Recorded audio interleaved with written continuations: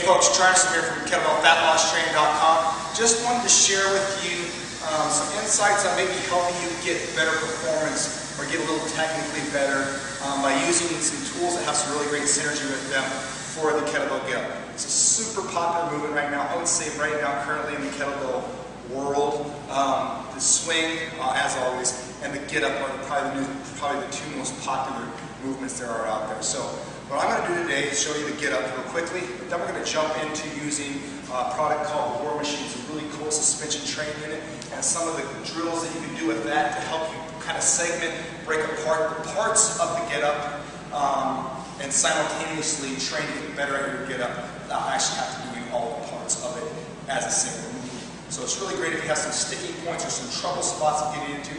Um, the get up has a lot of moving parts to it. There's a lot of leverage involved in it. Obviously, you always have the load.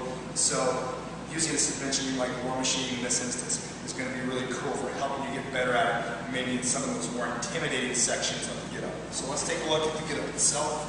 Here, we're going to go overhead. We're going to try to move up. Here, good hip plank. That's such. And off. So very simple. You can see there's Depends on how you count it. There's about five or six moving pieces to it. So there we go. But let's take a look at a couple ways to use War Machine I thought were really cool. So obviously getting that arm into that supported position in regards to that overhead position with the get up and then planked up in that high hip bridge, that's kind of a really tough spot to and somewhat hard to mimic beyond doing if you're just using a kettlebell. But when you use a War Machine, which has got this pulley action, which is awesome, you do something similar. So you're going to go here, we're going to go into a side T. You want to make sure you lock that out. You see how I automatically bent my elbows and work around. I'm going to keep that arm locked there, and then lower myself into this. So what we're working here is we're working a chance with my top side hand and my right hand of getting kind of vertical over the structure of the shoulder and stabilizing that without having the, the uh, precariousness of the weight overhead and simultaneously locking out and engaging the lat like we would if we had our hand on the ground in the bridge with the kettlebell as well here. So this bottom arm is doing quite a bit of work. Then I recurl and come back down until it's taking a couple more looks at that. So here, as such, locked in.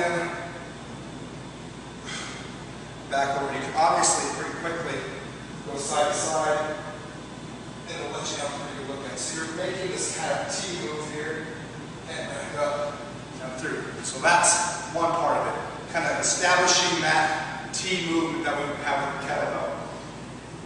Second part to get to here is the suspended lunge, which is going to help for your hip bridge out of the get up.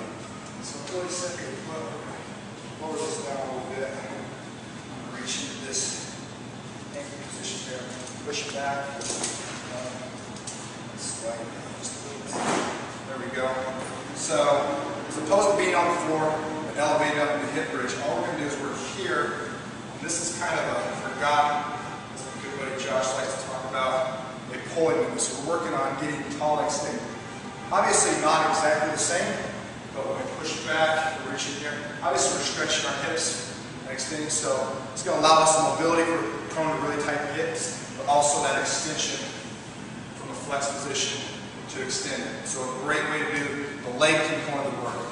All right, so our third movement is attaching the kettlebell via the pulley system, the traction unit the side T, is actually going to give you the lift and ability to really plank hard on that bottom side glute or hip. So as such, we're going to come over the top into a push-up plank position here.